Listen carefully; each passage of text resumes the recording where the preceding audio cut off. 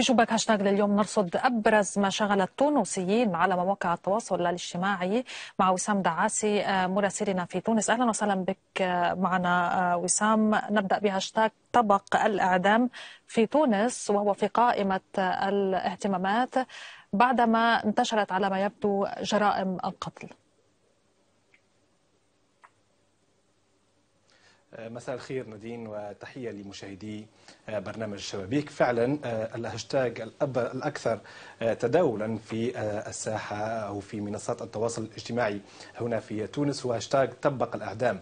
هذا الهاشتاج انتشر بعد حادثة هزت الرأي العام في تونس بعد مقتل شابة تدعى رحمة هنا في منطقة عين زغوان بضواحي العاصمة هذه الحادثة أدت إلى بروز دعوات لإعادة تنفيذ الأعدام المتوقف تقريبا منذ 26 سنة ونفذت عائلة الضحية بعد هذه الحادثة مسيرة احتجاجية نحو قصر الرئاسة بقرطاج تطالب تطالب بتطبيق الاعدام وبرزت دعوات كثيرة في الساحة على المستوى الشعبي أو على الأقل في مواقع التواصل الاجتماعي. تطالب بتطبيق الاعدام على خلفية انتشار جرائم مريعة في يعني الأيام الأخيرة. الرئيس التونسي أدلى بدلوه في هذا الموضوع خلال اجتماع مجلس الأمن القومي قال إن من نفذ يعني هذه الجرائم جزاؤه الأعدام وهو تعبير ربما على أنه يؤيد عودة أو إعادة حكم الأعدام وهو ما أثار موجة جدل كبيرة في الساحة السياسية وتحول هذا الموضوع من جدال على مواقع التواصل الاجتماعي جدال على المستوى الشعبي إلى جدال سياسي. منظمة العفو الدولية قالت اليوم في بيان لها أن يعني إعادة حكم الأعدام هو يمثل صفعة في مسار التقدم الذي تشهده تونس على المستوى الحقوقي. كذلك مضت بعض يعني القوى السياسية وكذلك المنظمات الحقوقية في هذا الاتجاه. تقريبا مجمل التعليقات جاءت يعني إما منددة بإعادة حكم الأعدام أو مستغربة من هذا الطرح. نبدأ بريم شاكر التي تقول تأثير المواد المخدرة يعني بأنواعها وتأثير المشاحنات السياسية سبب ارتفاع عدد الجرائم.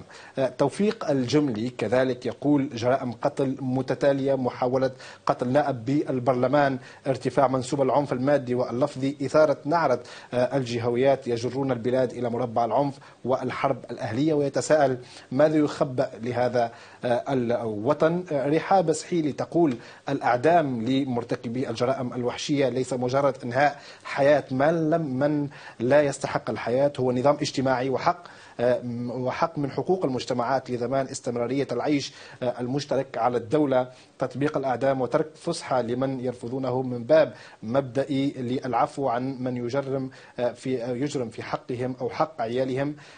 ثم مبروك خضير تقول في تدوين كذلك سأقول كلمتي في هذا الجدال العقيم الذي أصبح مقرفا حد العماء جدال عقيم حول عقوبة الأعدام في تونس. تحولت وجهة كل الجرائم الشنيعة إلى جدال عقيم حول الأعدام.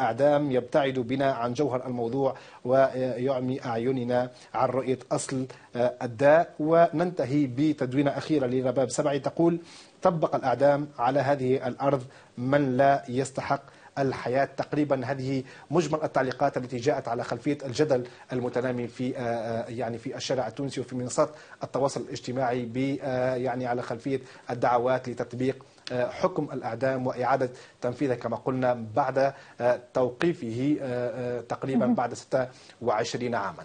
نعم وسام وفي وقفتنا الثانية ارتفاع عدد الإصابات والوفيات بفيروس كورونا ومطالب بإعادة فرض حظر التجوال فما مدى إمكانية الاستجابة لمطالب من هذا النوع؟ نعم نادين تونس تقريبا التي كانت من الدول القليلة التي استطاعت من السيطرة على هذا الوباء واستطاعت في من تتويق انتشاره في عند ظهوره قبل أشهر وتمكنت من السيطرة عليه. لكن بعد أشهر قامت بفتح الحدود حدودها البحرية حدودها البرية والجوية كذلك. بعد ذلك نشهد الآن انتشار واسع لهذا الفيروس في ظل صمت رسمي تقريبا الإجراءات التي تعلن عنها السلطات تبقى غير كافية بحسب رواد مواقع التواصل الاجتماعي. تقريبا يعني في هذه الأيام تسجل تونس ما لا يقل عن 800 إصابة يوميا. عدد الوفيات في تزايد. كل ذلك دفع البعض في رواد مواقع التواصل الاجتماعي بمطالبة بإعادة فرض حظر التجول للتصدي لهذه الموجة الثانية من هذا الفيروس. السلطات تقول إنها لا داعي من إعادة هذه الإجراءات باعتبار أن الأزمة المالية والاقتصادية التي تعيشها تونس لا تتحمل أكثر من إجراءات إغلاق والتوقيف للأنشطة الاقتصادية. وتكتفي ببعض الإجراءات والدعوات للالتزام بإجراءات وقواعد السلامة وتجديد الإجراءات الإجراءات في المطاعم والفضاءات العامة. وكذلك المقاهي في محاولة لردع كل المخالفين ل يعني لعدم يعني الذين لا يرتدون الكمامة وغيرها من من الإجراءات. كل ذلك كان محل جدال كبير في مواقع التواصل الاجتماعي خاصة بعد إصابة عدة طواقم وممرضين وأطباء. نبدأ ب يعني التدوينات أو التعليقات. علي اللافي يقول ثلاثة ألاف متعافي من كورونا في ثلاثة أيام. انشروا الطمأنينة بين الناس وتفاءلوا بالخير تجدوه. ومن يحدثكم عن زمن حدثوه عن رب لطيف. اللهم اصرف عنا هذا البلاء. سلاح الدين الجورشي وهو الإعلامي أو المحلل السياسي أصيب بوباء كورونا ينشر تدوينه. يقول فيها كورونا وباء غامض لكن التصدي له ليس صعبا ولا معقدا. يعتمد أساسا على الوعي الذاتي والتضامن العائلي الذي من أهم مقوماته التباعد واحترام وسائل الوقاية بما في ذلك بين الزوج وزوجته تعام صحي واستعانة بالفيتامينات المنصوح بها.